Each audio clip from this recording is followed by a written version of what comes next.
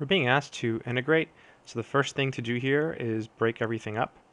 This will be t over the square root of t, so it's really t over, let's write it as t to the 1 half so that we can simplify, and then minus t cubed over the square root of t, which we'll write as t to the 1 half. And all of this, we have parentheses and we have a dt. Let's keep going.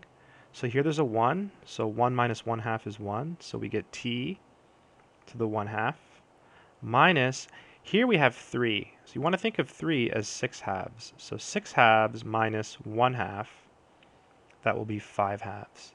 So this is t to the 5 halves dt. And now we're ready to integrate. We just have t to a power in both cases. So this will be t when you add 1 to the 1 half, you get 3 halves. And we're supposed to divide by 3 halves. Now, instead of dividing by 3 halves, you can multiply by the reciprocal, so 2 thirds. Likewise, here we have minus t. Now, 1 plus 5 halves is 7 halves. So instead of dividing by 7 halves, let's multiply by the reciprocal, which is 2 over 7, and then plus our constant, which we'll call c. And that's it.